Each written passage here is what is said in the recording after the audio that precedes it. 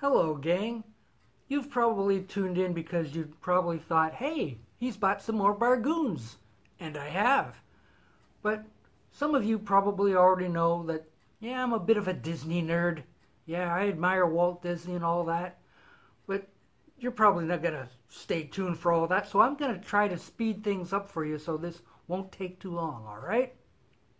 Right. So, anyway, I really admire Walt Disney, and I've got biographies on him, and I've got books on him, and I've got all kinds of Disney stuff and old Disney cartoons. Yes, I've even got some Disney stock, where at the time of this recording is about $151, okay?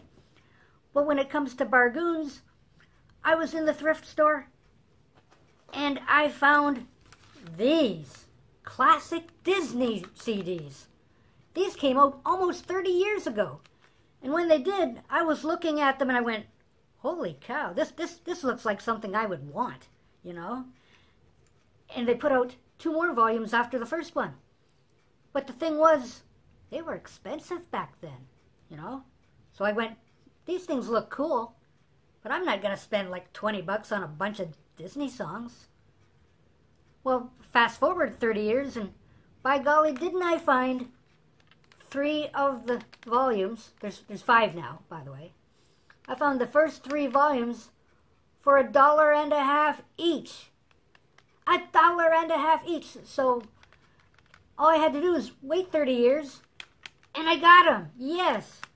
These things are pretty cool, you know, like they've got songs from the animated movies and some of the others like Mary Poppins and Annette Funicello and the Beach Boys are on here too, yes.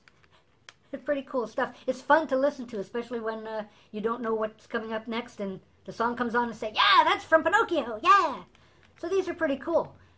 And for a dollar and a half each, even cooler. So I don't know if you're into Disney and like that kind of stuff. You know, if you want to whistle while you work and and uh, you know whatever, you know, like be my guest and check these out. You might be able to find a bargoon on these too. They're they're fun to listen to. There you go. That's my video today on Walt Disney's classic Disney. Hope you got through it all right. Take care. Bye bye.